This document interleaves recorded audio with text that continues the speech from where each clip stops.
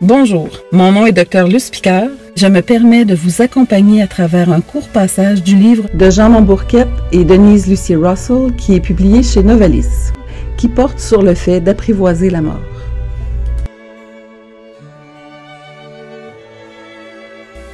Imagine que tu te retrouves près d'une rivière et que peu à peu, tu entres dans l'eau. Tu peux porter un gilet de sécurité si tu le désires. À mesure que tu sens la pression de l'eau sur toi, tu deviens de plus en plus calme, de plus en plus détendu. Tu ressens un grand plaisir à te laisser porter par l'eau et même à te laisser porter par le courant. Tu regardes les berges et tu t'aperçois que tu revois des scènes de ton enfance, des scènes de ton adolescence. Et enfin, des scènes de ta vie adulte.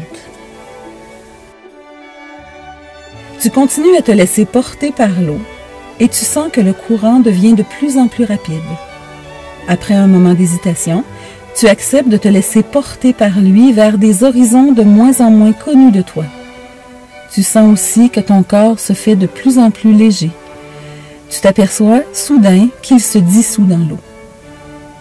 Après un moment d'émotivité devant l'inconnu, tu acceptes de laisser partir ton corps. Tu deviens de plus en plus un avec la rivière. Ta conscience s'élargit et prend de plus en plus d'espace. Voici que la rivière atteint un fleuve et se joint à lui. L'espace s'élargit encore plus. Les berges s'éloignent et deviennent de plus en plus floues. Tu ne sens maintenant plus les limites de ton corps. Tu vis dans un espace immense. Tu ne fais qu'un avec les eaux du fleuve. Tu te sens tiré par une force incontrôlable. Tu fais confiance à cette force et tu acceptes de te laisser porter. Le fleuve s'élargit de plus en plus. Tu vis un autre moment de grande émotion devant l'immensité de l'espace. Tu comprends que le fleuve devient océan. Malgré ce changement, tu te sens sûr de toi, car la force qui t'attire au large est une force d'amour.